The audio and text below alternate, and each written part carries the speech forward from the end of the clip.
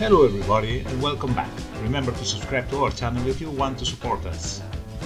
In this video we're going to show how to bring our basic cars to the advanced pack.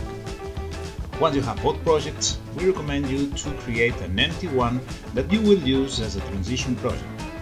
You can create it from the Epic Games launcher or use this little trick if you want to work faster. This process is not necessary, but it will avoid some issues that Unreal Engine 5 has when renaming assets that are loaded on memory.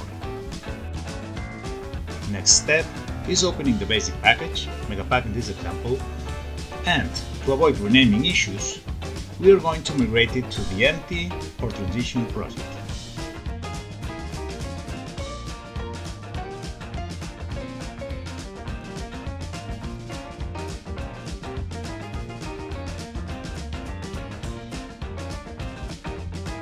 We can now close the basic project and open the transition one.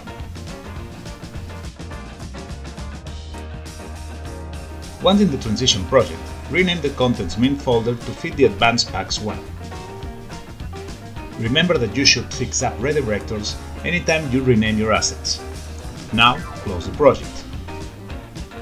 You could migrate content again or just copy paste as shown in this video copy from the transition project to the advanced one, and don't overwrite anything. Now open the advanced pack.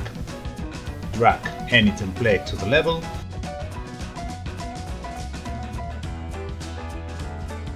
and apply its corresponding data asset.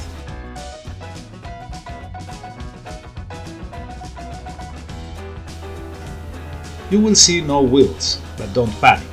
You just need to create a new blueprint from the asset and you are done. We hope you are enjoying our assets. Thank you for supporting us and remember to subscribe.